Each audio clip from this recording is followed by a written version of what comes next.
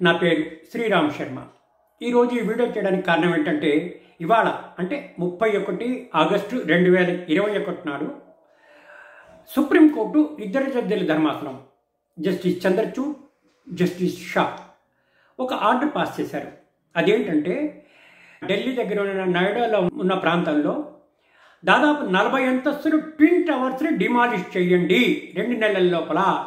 అదేవిధంగా దాదాపు వెయ్యి ఫ్లాట్లు ఉన్నాయి. ఆ వెయ్యి ఫ్లాట్లు కొనుక్కునే వాళ్ళు ఎవరైతే ఉన్నారో వాళ్ళకి కొన్న డబ్బులు ఇంట్రెస్ట్తో సహా రిటర్న్ చేయాలి అని చెప్పేసి జడ్జిమెంటు ఇవ్వడం జరిగింది. వివరాల్లోకి వెళ్తే రెండు వేల పద్నాలుగులో super tech real estate company ఈ ట్విన్ టవర్స్ కట్టింది. అక్కడున్న లోకల్ మున్సిపల్ అధికారులతో పర్మిషన్ తీసుకుని. అయితే అక్కడ ఎవరైతే ఈ అపార్ట్మెంట్స్ కొనుక్కున్నారో వాళ్ళు స- అలహాబాద్ హైకోర్టులో రిట్ ఫైల్ చేశారు.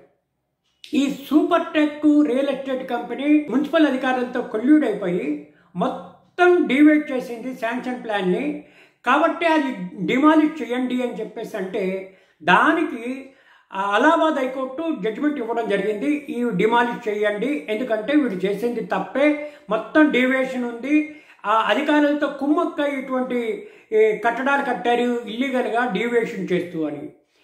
ఈ సూపర్ టెక్ వాళ్ళు ఊరుకోకుండా దానికి ఎగనెస్ట్ ఆ జడ్జిమెంట్కి ఛాలెంజ్ చేస్తూ సుప్రీంకోర్టులో ఎస్ఎల్పి ఫైల్ చేస్తే ఆ ఎస్ఎల్పి జడ్జిమెంట్ ఇవాళ ఇవ్వడం జరిగింది. దీని అర్థం ఏంటి? ఎంతటి డబ్బున్నవాడైనా చట్టం ముందు సమానమే అనే చెప్పడానికి ఈ జడ్జిమెంట్ మీకు ఉదాహరణగా చెప్తున్నాను.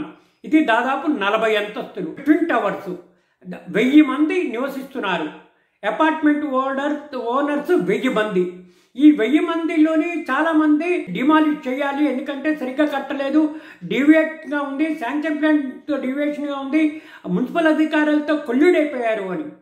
ఈ ఇవన్నిటినీ అలహాబాద్ హైకోర్టు ఇచ్చే జడ్జిమెంట్ని సపోర్ట్ చేస్తూ ఇవాళ గౌరవ సుప్రీంకోర్టు ఈ జడ్జిమెంట్ ఇవ్వడం జరిగింది.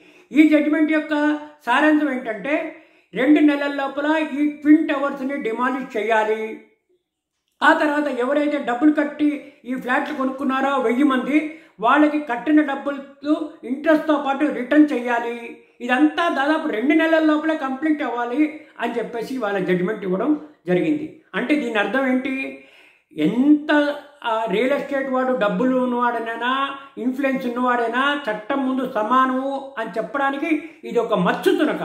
కాబట్టి రియల్ ఎస్టేట్ బిల్డర్స్ కానీ డెవలపర్స్ కానీ న్యాయంగా కడితే ధైర్యంగా ఉండొచ్చు హ్యాపీగా ఉండొచ్చు.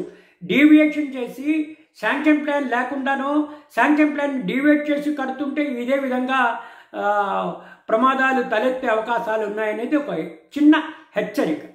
Thank you